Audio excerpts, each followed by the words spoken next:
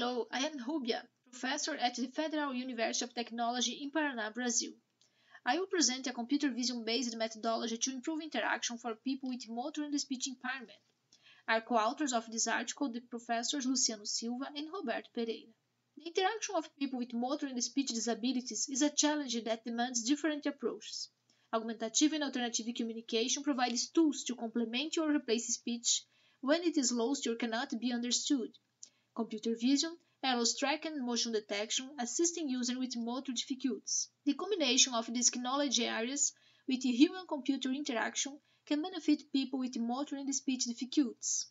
In this context, this article proposes a methodology to support AAC for people who have motor and speech disabilities, making use of CV techniques and machine learning to enable personalized gestural interaction. Related works to ours investigate the tracking of body movements for interaction, but some limitations can be highlighted, such as tracking specific body regions that covering a very particular target audience, sets of predefined gestures forcing the user to adapt.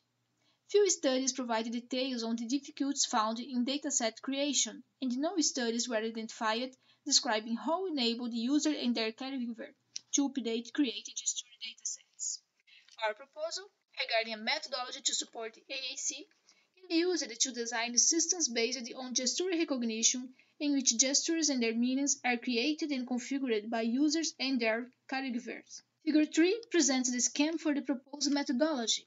Using input devices, the user, with the help of his caregiver, creates a dataset composed of gestures that will be used for communication and interaction. When the capture process is complete, the dataset is separated into training and test data. Then, the system extracts features from training samples and executes the classification process.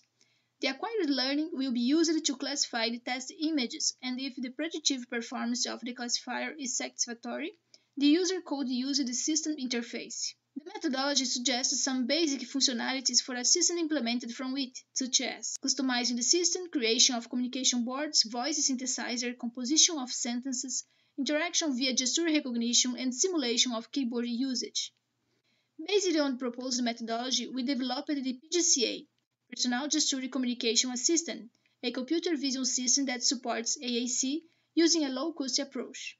PGCA uses motion history image and optical flow-based motion history image for motion representation.